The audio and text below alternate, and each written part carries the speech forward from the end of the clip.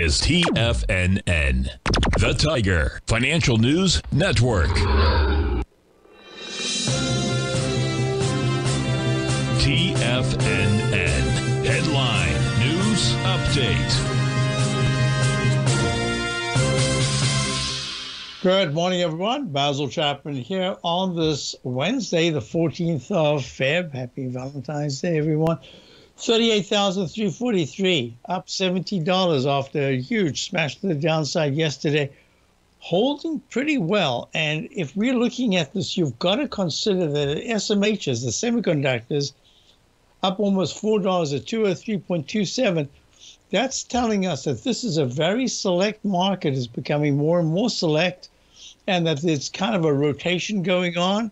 And we've got to keep monitoring that because until the semiconductors start to pull back sharply and stay down every day after being uh, lower from an early rally, uh, this market still has some rotational strength, and you can see that because the S&P is up 28 at 49.81. You've got the QQQ. This is basically the NDX 100 trading vehicle 431.43, up 285 after a really terrible session yesterday holding quite nicely, helped a little bit by the semis. IWM, the Russell 2000, trying to get something back today, up 251, 197.15. Gold, talk about getting trying to get something back. Gold just can't get anything back. It's down eight, and if you're looking at the dollar, dollar is once again slightly higher. Uh, no, it's actually come down a little bit. Now it's down eight cents at 104.79.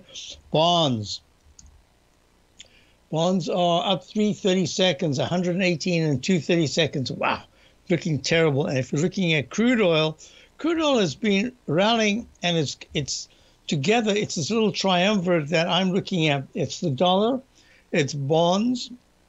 It's really important that if this market is trying to find some stability, if crude oil, which is only up a little bit now, it's up 66 cents at 78.54.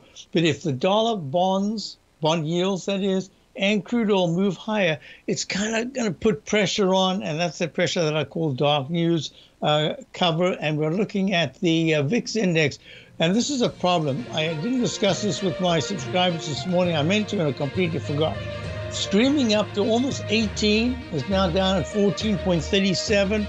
That was too much too quickly, and that just tells me that there's there's some internal strength there's a lot of uh, hysteria that keeps coming into the market, but it's brief and then the market tries to stabilize. I'll be back for the Tiger Technicians Hour. Check out my opening call.